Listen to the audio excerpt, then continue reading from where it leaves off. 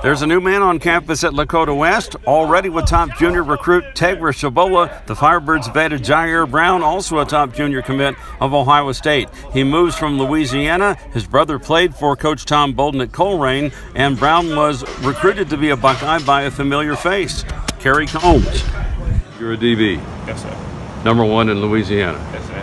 Number one in Ohio now. Number one in Ohio now. Yes, Where did Hollywood come from?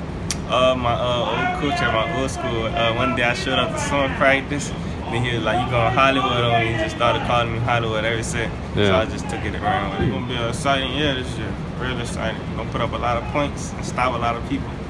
So it's going to be exciting. Uh, I met Tegra um, when he committed, uh, after I committed.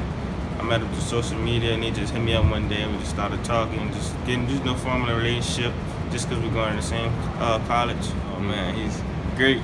That's why he uh, he's the reason why I'm there now. He our relationship with each other, and my me having family, have family ties, and he just helped me even more with our relationship.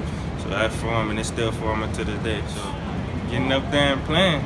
Yeah. I'm, I'm my expectation. I want to play as a freshman, you know, true freshman, making plays on the field. Got a phone call from Linnell that, that, that played for me and, you know, talked about brother was moving, wanted to move up, and uh, talked about his commitment to Ohio State. And I thought, oh, wait a minute, commit to Ohio State? I said, sounds like this must be a pretty good player. And and uh, got off the phone, did a little research, and I thought, holy cow, he's a really, really good player. That's that, that's pretty cool. So, but um, you know, like I've reminded them, and I'll remind people, that's all on paper. So, you, you know, come come practice, come Friday nights, you got to perform like that. So, you know, any anything people can write about you and put the stars to you and rank you and all that kind of stuff.